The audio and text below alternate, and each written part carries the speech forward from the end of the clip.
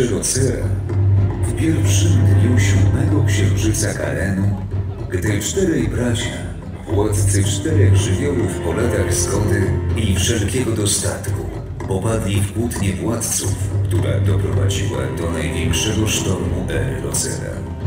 Najstarszy z braci, władca oceanu, magii.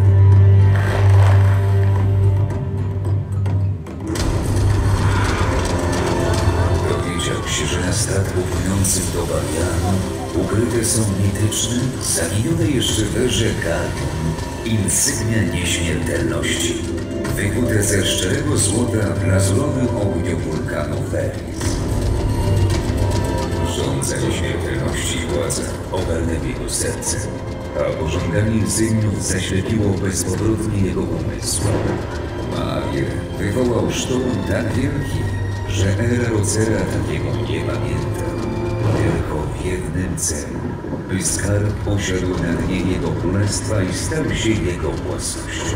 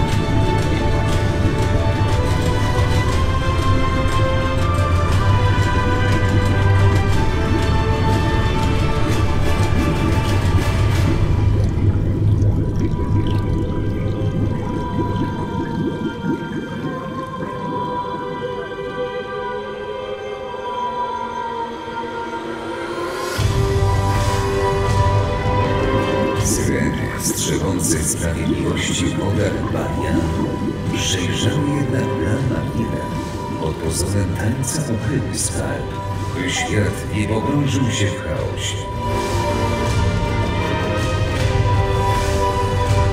Jednak raz na sto tysięcy lat, tylko w pierwszym dniu księżyca Karen, możliwe jest odnalezienie Masa. To ten dzień i ta noc. Ale nie myślcie, że szukacie go sami.